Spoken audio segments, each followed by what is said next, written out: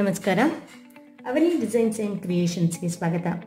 ಇವತ್ತು ಒಂದು ರೀತಿಯ ಸಿಂಪಲ್ ಆಗಿ ಗ್ರ್ಯಾಂಡ್ ಆಗಿ ಕಾಣಿಸುವಂಥ ಸಿಂಪಲ್ ಆಗಿ ಮಾಡುವಂಥ ಗ್ರ್ಯಾಂಡ್ ಆಗಿ ಕಾಣಿಸುವಂಥ ಒಂದು ಕುಚ್ಚಿನ ಡಿಸೈನನ್ನು ನಾವು ಇವತ್ತು ನೋಡ್ಕೊಂಬರೋಣ ಅದಕ್ಕೂ ಮುಂಚೆ ನೀವು ನಮ್ಮ ಚಾನಲ್ನ ಸಬ್ಸ್ಕ್ರೈಬ್ ಆಗಿಲ್ಲ ಅಂದರೆ ಸಬ್ಸ್ಕ್ರೈಬ್ ಆಗಿ ಪಕ್ಕದಲ್ಲಿರೋ ಬೆಲ್ ಐಕಾನನ್ನು ಪ್ರೆಸ್ ಮಾಡಿ. ನೀವು ಪ್ರೆಸ್ ಮಾಡಿದ ಮೇಲೆ ಆಲ್ ಅಂತ ಆಪ್ಷನ್ ಇರುತ್ತೆ. ಅದನ್ನು ಪ್ರೆಸ್ ಮಾಡೋದ್ರಿಂದ ನಾನು ಇದೇ ರೀತಿಯಾದ ಉಪಯುಕ್ತವಾದ ವಿಡಿಯೋ ಹಾಕೋದ್ರಿಂದ ನಿಮಗೆ ಬೇಗ ನೋಟಿಫಿಕೇಶನ್ ಬಂದು ನಿಮ್ಮ ಮನೆ ಬಾಗಿಲಿಗೆ ತಲುಪುತ್ತೆ.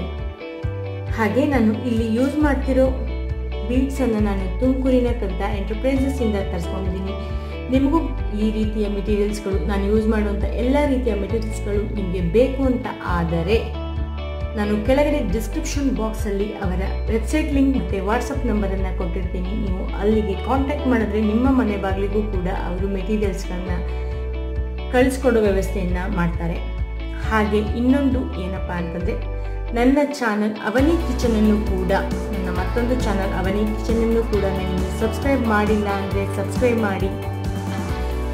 ನನ್ನ ಈ ಚಾನಲ್ಗೆ ಸಪೋರ್ಟ್ ಮಾಡಿದ ಹಾಗೆ ಅದಕ್ಕೂ ಕೂಡ ಸಪೋರ್ಟ್ ಮಾಡ್ತೀರಾ ಅಂತ ಅನ್ಕೊಂತೀನಿ. ನಿಮ್ಮ ನಿರೀಕ್ಷೆಯಲ್ಲಿ. ಈಗ ನಾವು ಸ್ಟಾರ್ಟ್ ಮಾಡೋಣ. ಯಥಾ ಪ್ರಕಾರವಾಗಿ ನಾನಿಲ್ಲಿ ಹನ್ನೊಂದನೇ ನಂಬರ್ ಕ್ರೋಶವನ್ನು ತಗೊಂಡಿದ್ದೀನಿ. ಬಟ್ಟೆಯ ತುದಿಯಿಂದ ಸ್ಟಾರ್ಟ್ ಮಾಡ್ತಾ ಇದ್ದೀನಿ.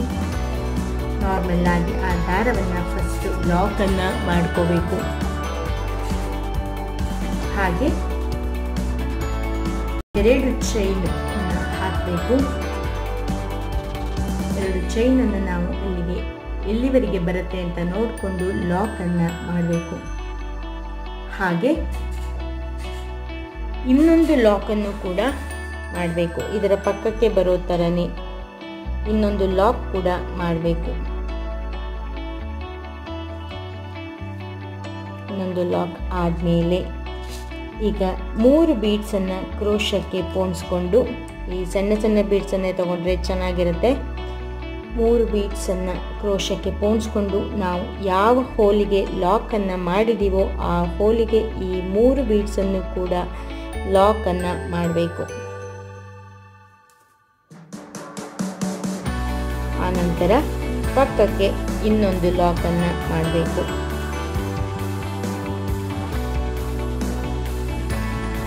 ಆನಂತರ ಎರಡು ಚೈನನ್ನು ಹಾಕಿ, ಆ ಎರಡು ಚೈನ್ ಇಲ್ಲಿವರೆಗೆ ಬರುತ್ತೆ ಅಂತ ನೋಡಿಕೊಂಡು ಅಲ್ಲಿಗೆ ಲಾಕನ್ನು ಮಾಡಬೇಕು. ಹಾಗೆ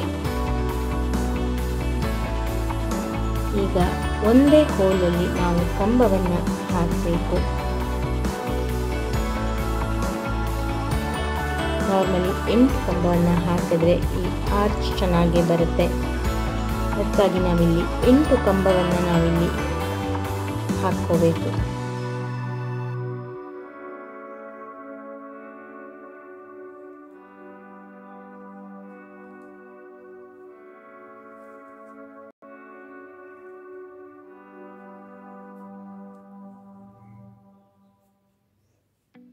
ಐದು.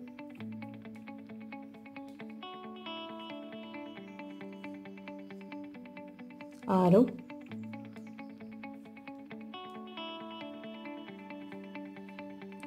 ಏಳು. ನೀವು ನಾರ್ಮಲ್ ಆಗಿ ಇದನ್ನು ಒಂದೇ ಹೋಲಲ್ಲಿ ಹಾಕಿದರೆ ಚೆನ್ನಾಗೇ ಬರುತ್ತೆ. ನೋಡಿ, ಒಂದೇ ಹೋಲಲ್ಲಿ ಬಂದರೆ ಈ ರೀತಿಯಾಗಿ ಫ್ಲವರ್ ರೀತಿಯಲ್ಲಿ ಕಾಣಿಸುತ್ತೆ. ಹಾಗೆ ಡೆಲಿಕೇಟ್ ಸೀರೆ ಆದರೆ ಈ ಡಿಸೈನ್ ಹಾಕೋದಿದ್ರೆ ನೀವು ಒಂದೇ ಹೋಲಲ್ಲಿ ಕಂಬವನ್ನು ಹಾಕೋಕ್ಕೆ ಹೋಗಬೇಡಿ. ಒಂದೊಂದು ದಾರದ ವ್ಯತ್ಯಾಸದಲ್ಲಿ ನೀವು ಈ ರೀತಿ ಕಂಬವನ್ನು ಹಾಕಿ ಆವಾಗ ನಮಗೆ ಸೀರೆ ಹಾಳಾಗೋದಿಲ್ಲ. ಇಲ್ಲ ಅಂತಂದರೆ ನಾವು ಒಂದೇ ಹೋಲಲ್ಲಿ ಹಾಕೋದ್ರಿಂದ ನಮಗೆ ಅದು ದೊಡ್ಡ ಹೋಲ್ ಆದ ಹಾಗೆ ಕಾಣಿಸುತ್ತೆ. ಈಗ ಎಂಟು ಕಂಬ ಆಗಿದೆ. ಎಂಟು ಕಂಬ ಎಲ್ಲಿವರೆಗೆ ಬರುತ್ತೆ ಅಂತ ನೋಡಿಕೊಂಡು ಬಟ್ಟೆಗೆ ಲಾಕನ್ನು ಮಾಡಬೇಕು.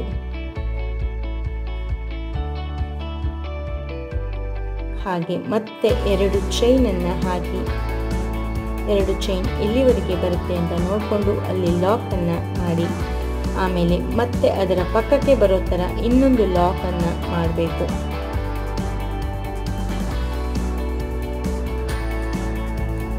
ಆಮೇಲೆ ಕ್ರೋಶಕ್ಕೆ ಮೂರು ಬೀಡ್ಸ್ಗಳನ್ನು ಪೋಣಿಸ್ಕೊಂಡು, ಆ ಮೂರು ಬೀಡ್ಸನ್ನು ಡೈರೆಕ್ಟ್ ನಾವು ಈಗ ಪೋಣಿಸಿ ನಾವು ಎಲ್ಲಿ ಲಾಕನ್ನು ಹಾಕಿದ್ದೀವೋ ಆ ಲಾಕಿನ ಲಾಕ್ ಮಾಡಿದ ಜಾಗದಲ್ಲಿಯೇ ಈ ಬೀಡ್ಸನ್ನು ಕೂಡ ನಾವು ಲಾಕನ್ನು ಮಾಡಬೇಕು.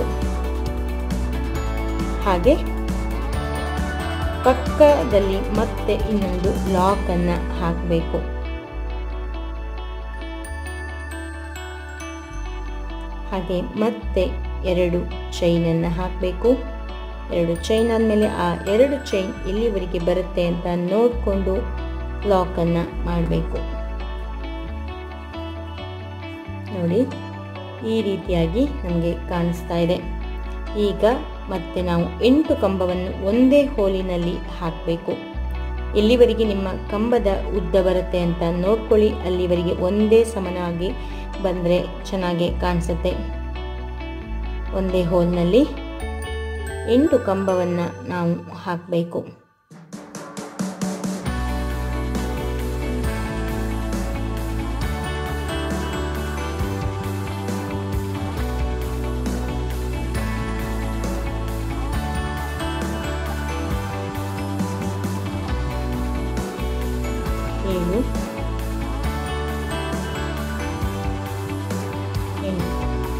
ನಾವೀಗ ಎಂಟು ಕಂಬವನ್ನು ಒಂದೇ ಹೋಲ್ನಲ್ಲಿ ಹಾಕೊಂಡಾಗಿದೆ. ಈ ಕಂಬ ಎಲ್ಲಿವರೆಗೆ ಬರುತ್ತೆ ಅಂತ ನೋಡಿಕೊಂಡು ಇಲ್ಲಿಗೆ ನಾವು ಲಾಕನ್ನು ಮಾಡಬೇಕು. ಹಾಗೆ ನಾವು ಎರಡು ಚೈನನ್ನು ಹಾಕಿ, ಆ ಎರಡು ಚೈನ್ ಎಲ್ಲಿವರೆಗೆ ಬರುತ್ತೆ ಅಂತ ನೋಡಿಕೊಂಡು ಅಲ್ಲಿ ಲಾಕನ್ನು ಮಾಡಬೇಕು. ಹಾಗೆ ಅದರ ಪಕ್ಕಕ್ಕೆ ಒಂದು ಲಾಕನ್ನು ಮಾಡಬೇಕು. ಹಾಗೆ ಕ್ರೋಶಕ್ಕೆ ಮೂರು ಬೀಡ್ಸ್ಗಳನ್ನು ಪೋಣಿಸ್ಕೊಂಡು, ಆ ಮೂರು ಬೀಡ್ಸನ್ನು ದಾರಕ್ಕೆ ನಾವು ವಾಪಸ್ ಪೋಣಿಸಿ, ನಾವು ದಾರವನ್ನು ಎಲ್ಲಿ ಲಾಕ್ ಮಾಡಿದ್ವೋ ಅಲ್ಲಿ ನಾವು ಎಲ್ಲಿಂದ ಬೀಡ್ಸ್ ಹಾಕೋಕ್ಕೆ ಸ್ಟಾರ್ಟ್ ಮಾಡಿದ್ವೋ ಅಲ್ಲಿಗೆ ಮತ್ತೆ ಲಾಕನ್ನು ಮಾಡಿ, ಅದರ ಪಕ್ಕಕ್ಕೆ ಬರೋ ಥರ ಮತ್ತೊಂದು ಲಾಕನ್ನು ಮಾಡಬೇಕು. ಹಾಗೆ ಮತ್ತೆ ಎರಡು ಚೈನ್ ಹಾಕಿ ಲಾಕನ್ನು ಮಾಡಬೇಕು. ನಾವು ಮುಗಿಸೋದಿದ್ರೂ ಕೂಡ, ಸೀರೆ ಕೊನೆಯಲ್ಲೂ ಕೂಡ ಈ ಮೆಥಡ್ ಇಲ್ಲಿವರೆಗೆ ಬಂದರೆ ಇದು ಚೆನ್ನಾಗೆ ಕಾಣಿಸುತ್ತೆ. ನೋಡಿ ಫಸ್ಟ್ ನಾನು ಸ್ಟಾರ್ಟಿಂಗಲ್ಲಿ ದಾರವನ್ನು ತಗೊಂಡು ಇಲ್ಲಿ ಎರಡು ಚೈನನ್ನು ಹಾಕಿ ಲಾಕನ್ನು ಮಾಡಿದೆ. ಮತ್ತು ಅದರ ಪಕ್ಕ ಒಂದು ಲಾಕನ್ನು ಮಾಡಿ ಮೂರು ಬೀಡ್ಸ್ಗಳನ್ನು ಹಾಕಿ ಮೂರು ಬೀಡ್ಸನ್ನು ನಾನು ಎಲ್ಲಿ ದಾರವನ್ನು ಮತ್ತೊಂದು ಲಾಕನ್ನು ಮಾಡಿದ್ನಲ್ಲ, ಆ ದಾರದ ಒಳಗಡೆ ಮತ್ತೆ ಲಾಕನ್ನು ಮಾಡಿ ಅದರ ಪಕ್ಕಕ್ಕೆ ಮತ್ತೊಂದು ಲಾಕನ್ನು ಮಾಡಬೇಕು. ಆಮೇಲೆ ಎರಡು ಚೈನು ಆ ಎರಡು ಚೈನ್ ಇಲ್ಲಿವರೆಗೆ ಬರುತ್ತೆ ಅಂತ ನೋಡಿ ಲಾಕನ್ನು ಮಾಡಿ. ನೆಕ್ಸ್ಟ್ ಎಂಟು ಕಂಬವನ್ನು ಒಂದೇ ಹೋಲ್ನಲ್ಲಿ ಎಂಟು ಕಂಬವನ್ನು ಹಾಕಬೇಕು. ಆವಾಗ ಈ ರೀತಿಯಾಗಿ ಚೆನ್ನಾಗಿ ಆರ್ಚ್ ಬರುತ್ತೆ. ಕೊನೆಗೆ ಆ ಕಂಬ ಎಷ್ಟು ಉದ್ದ ಇದೆಯೋ ಅಷ್ಟು ಗ್ಯಾಪಲ್ಲಿ ನಾವು ಲಾಕನ್ನು ಮಾಡಿ, ಎರಡು ಚೈನನ್ನು ಹಾಕಿ, ಮತ್ತೆ ಲಾಕನ್ನು ಮಾಡಿ, ಮತ್ತೆ ಲಾಕನ್ನು ಮಾಡಿ, ಮೂರು ಚೈನನ್ನು ಹಾಕಿ ಲಾಕ್ ಮಾಡಿದ ಜಾಗಕ್ಕೆ ಮತ್ತೆ ಲಾಕ್ ಮಾಡಿ.